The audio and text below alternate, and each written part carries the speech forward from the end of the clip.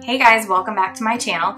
I'm excited to bring you this video today because my husband and I completely redid our master bedroom. We didn't spend a lot of money, we only changed out a few things, but it's made a huge difference.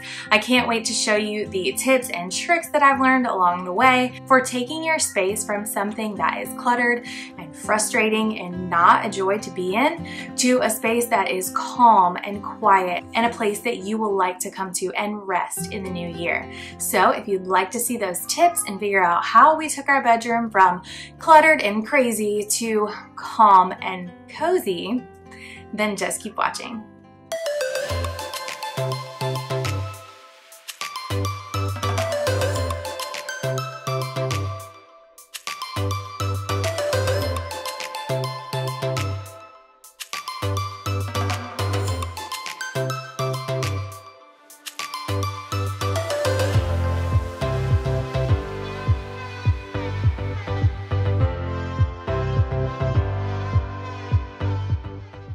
So the first tip that I have for you is going to be to take out anything in the room that doesn't belong.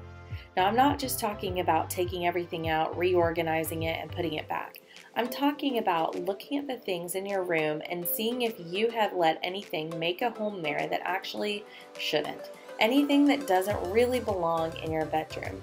I was very guilty of this for a bunch of stuff that was underneath our bed or some things that I didn't know where their home was, so I made one in my room.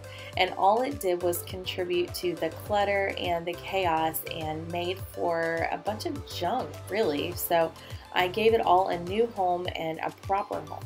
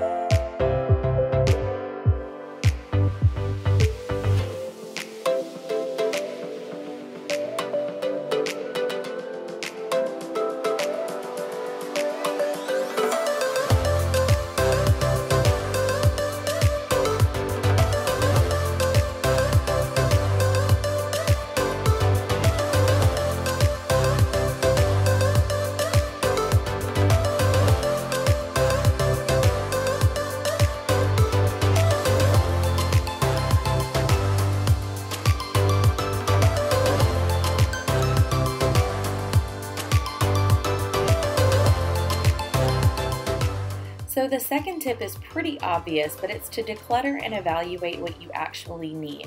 Now I'm very guilty of not liking to do this for a bunch of reasons, but you're about to see one of the biggest ones. So I had completely forgotten about this box, and when I saw it, I did have to take a minute. This is actually all of my maternity clothes. And while we do have three children, our most recent pregnancy resulted in a miscarriage. And so seeing this brought back a lot of honestly painful memories. And I can't help but think that a lot of us tend to avoid decluttering or getting rid of things because of the memories that things can bring back.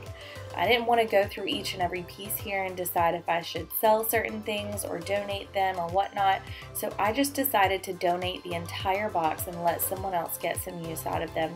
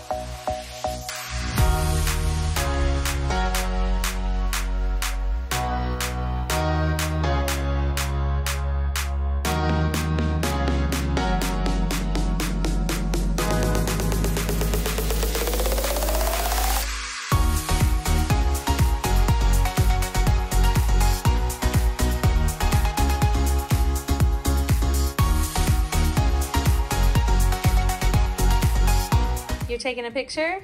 Yeah. Okay, you film. Let me see it. Tomorrow is the backyard. Oh gosh. What are you eating? Did you give her some of these Nutri-Grain?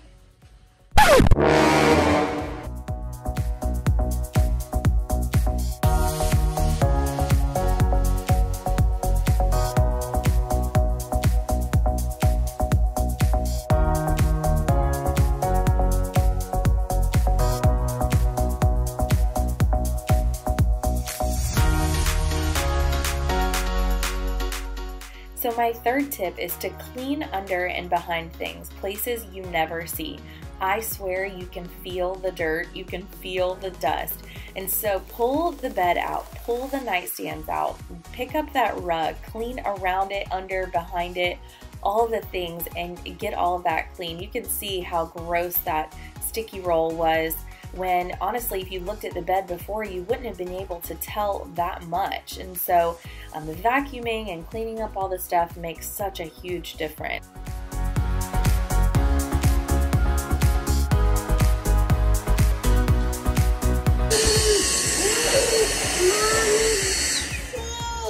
What?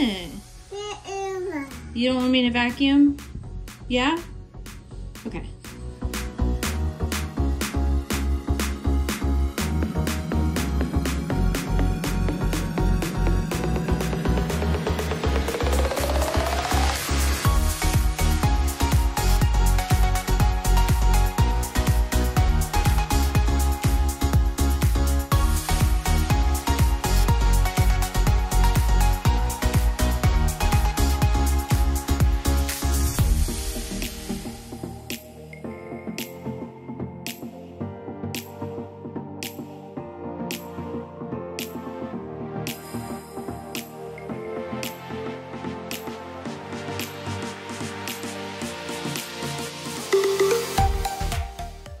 You're about to see me take everything out from under the bed.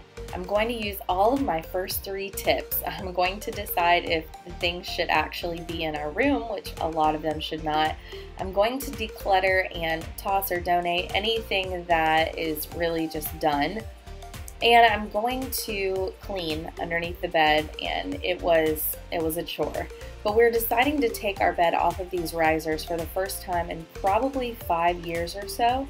And so it was going to make a big difference, and I couldn't fit as much underneath as I was used to.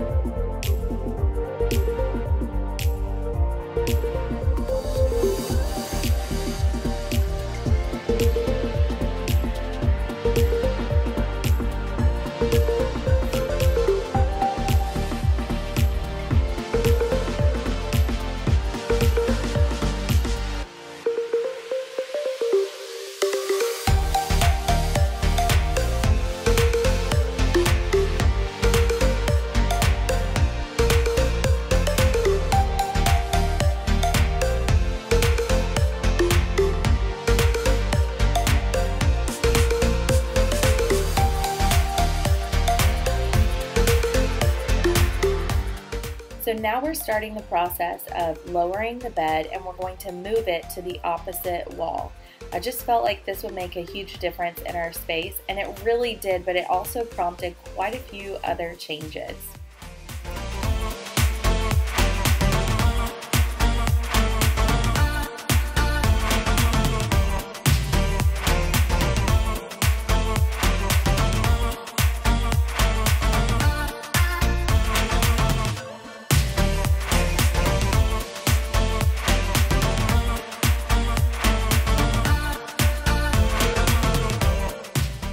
Really wish that I would have moved the camera and gotten the shot of when we actually put our bed into place.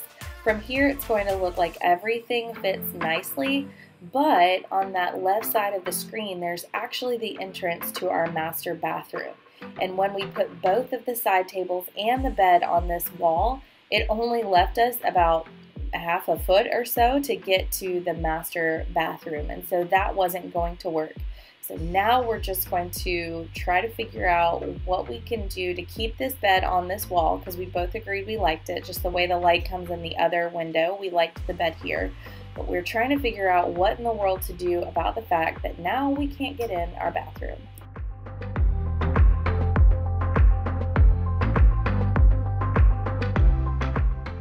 We started having the conversation pretty quickly about the side tables and decided that they were pretty big and just a really big space where we were keeping clutter. We just shoved things inside of them and on top of them, so we decided we were going to get new side tables.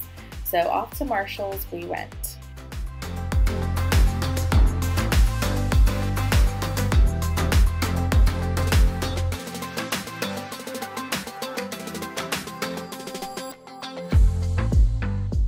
So Marshall's had a few good options and we actually found ones that we liked, but we wanted to check another store first before we purchased them.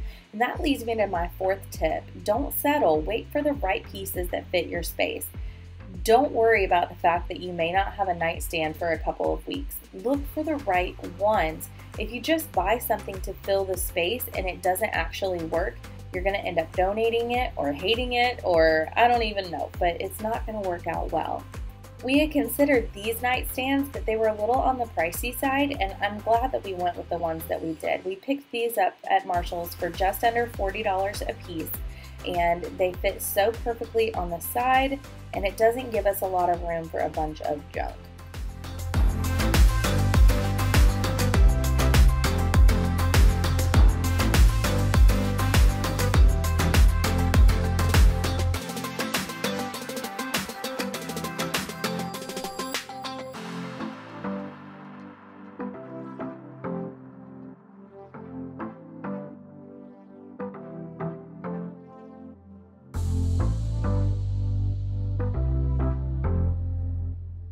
So, my fifth and final tip is all about your style. Consider your favorite color palette and move toward it. You do you. Now, I like more neutral tones and kind of a muted color palette with a, a, little bit of contrast here and there. But if you like bright jewel tones or you like spring colors or whatever it is that you like that is calming to you, make sure you go towards that. Now, I talked about us not spending a lot of money earlier, and this is one way that I did that. We had a blue comforter on our bed, which was beautiful, but again, I wanted to go with something more muted and neutral tones. So I took the duvet cover off of this insert and just used the insert for a while. Now at the end of the video, you're gonna see where we did add some things back in, but for now, all the only thing we spent this day was buying the new nightstands. Everything else were things that I already had or that I had repurposed.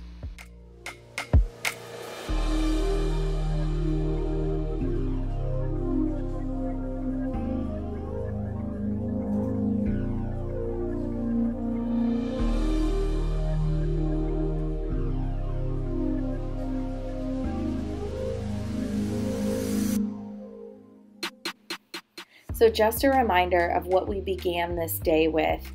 And I really cannot believe the transformation that this was. And it didn't cost us a lot of money, like I said. It was just about decluttering and getting the things out that didn't belong. So, this is our space. Now, this is the first version of our space, so make sure you stay tuned. This is that first day, and I swear I slept better this night because the entire room felt completely different. And here is our space today, a few weeks later, after I have changed a few things out and redecorated a little bit. I'm going to go through and tell you where everything is from in our calming master bedroom. So this rug is from Hobby Lobby and I got that half off. If you've never looked at their rugs, when they're 50% off, they're a great deal. Our dresser is actually an antique. It was my grandfather's and I repainted it and I love that. Even though it's a little bit small for us, I'll never get rid of it. This little corner is actually very functional. My husband can sit here and tie his boots in the morning.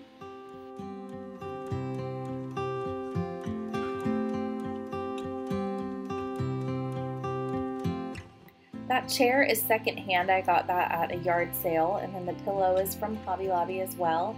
That vase is thrifted, and those are actually my wedding flowers. They've made it 10 years.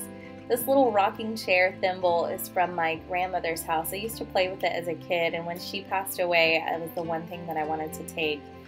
And these other two items are thrifted as well. That's just a vintage um, piece of luggage and a throw. And then this is probably my favorite little group of pictures. That top picture is just an antique print from a, an antique shop that picture there is my grandmother when she was young. It's just beautiful. And then that box is actually something that I repainted and added our wedding date to. There's our new side tables and our bed is from Wayfair. Our side lamps are actually from Walmart. This bedding is Hearth and Hand by Magnolia. And that pillow was from Home Goods. This throw is actually from Marshall's, and I really, really like it. It's got the fringe detail at the end, and it's super comfy. This tray is from Marshall's as well. And the few little bits on top are just kind of collected. The book there is one that I'm currently reading. It's Not Supposed to Be This Way by Lisa TerKeurst. And that is our other side table. And then this little um, metal shelf area um, was kind of a last minute thing, but I love the way it looks. It's very simple. And I actually picked that shelf up at IKEA a few years ago for maybe less than $15. I'm not sure if they still carry it, but I just keep my husband's hats on top. And then we have a few things there. I was going to put a plant in this um, urn here, but my husband's been putting his belt in there and it's not left out, so I don't mind it. I, I'd like to keep it there. On this shelf, I just have a piece of decor from the Target Dollar Spot, along with a wicker basket that has some books in it and some journals, just things that I like to have access to easily in the mornings or in the evenings when I'm able to read. And on the bottom shelf, we just have our most worn shoes.